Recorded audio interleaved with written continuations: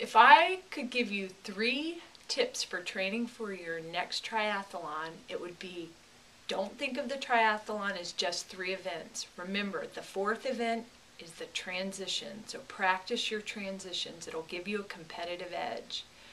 My second suggestion would be train for your weakest event. It's the one you least like to do, but if you get better at it, you'll be more successful. And finally, plan for your race and then race your plan.